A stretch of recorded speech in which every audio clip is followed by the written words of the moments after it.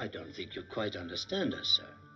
A few of us are endeavoring to raise a fund to buy the poor some meat and drink and means of warmth. Why?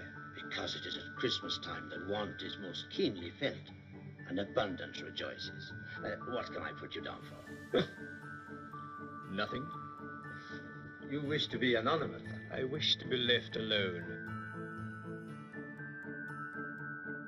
This time of year, I can't help but think about my favorite holiday films.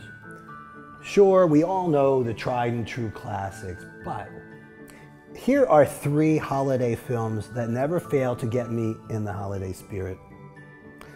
The first is A Smoky Mountain Christmas from 1986. This is a cross between um, the Beverly Hillbillies and the Grand Ole Opry, all tied up in the super special star that is Dolly Parton.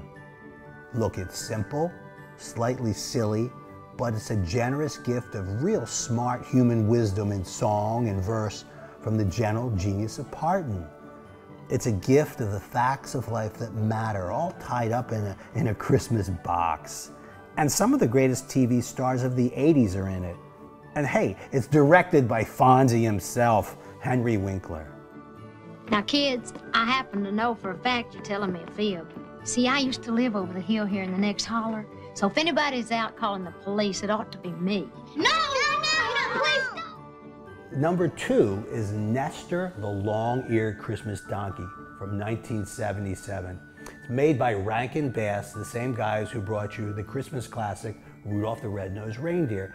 It's like Rudolph, except more religious and much more introspective.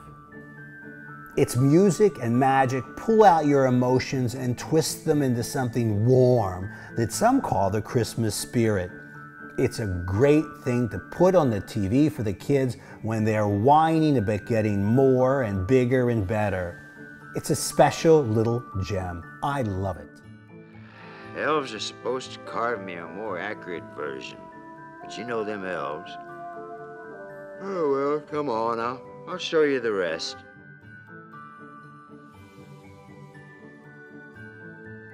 Speaking of Christmas spirit, my third and most endearing choice is 1951 Scrooge starring Alastair Sims.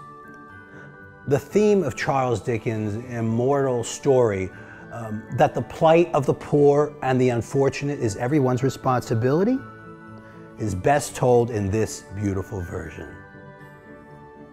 It's not dished out with sentimentality, rather it's filmed in black and white, dark and moody, cold and drafty. Sims is Ebenezer Scrooge.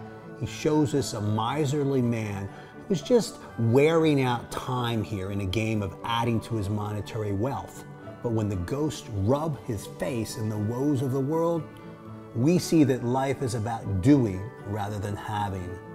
Sims' performance isn't the typical caricature of a miser. Rather, he plays Scrooge believably, like a man who, in the course of a night, through a very plausible nightmare, has transformed money into wisdom.